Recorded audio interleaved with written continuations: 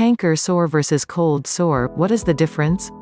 Well, to start a cold sore, also called a fever blister, is caused by the herpes simplex virus.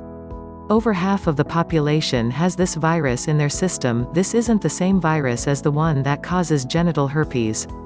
This virus can stay dormant the majority of the time. Oftentimes it will flare up and lead to a cold sore in times where your immune system is compromised such as during times of extreme stress or when you are fighting off other sicknesses. Cold sores usually form on the outside of the mouth. An outbreak will last around two weeks in most cases, though there are some things that can be done to shorten the time length.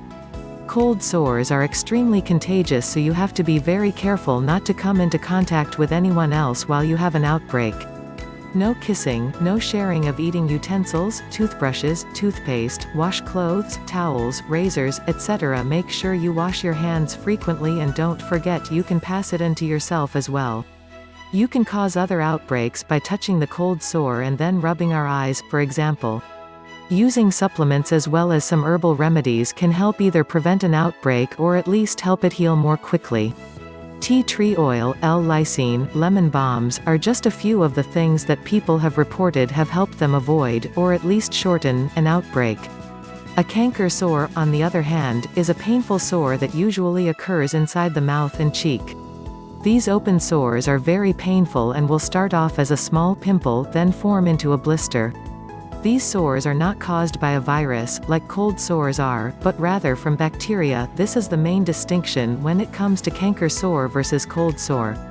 A canker sore will take about 14 days to heal also. These sores will often leave a scar, though since it's on the inside of your mouth it's not like it's going to be disfiguring.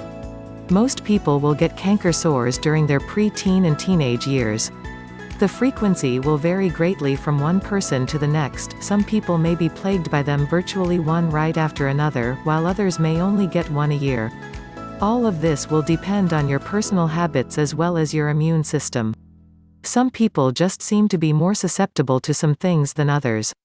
Another significant difference between canker sores and cold sores is that canker sores aren't contagious and cold sores are extremely contagious.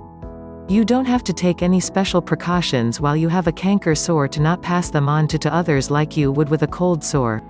Sometimes, frequent canker sore outbreaks can be a sign of some more serious underlying condition so if you get them frequently you may want to talk to your doctor. Now that you know the difference between canker sore versus cold sore, you'll have a better idea of just which of these nasty little things is making you suffer the next time around.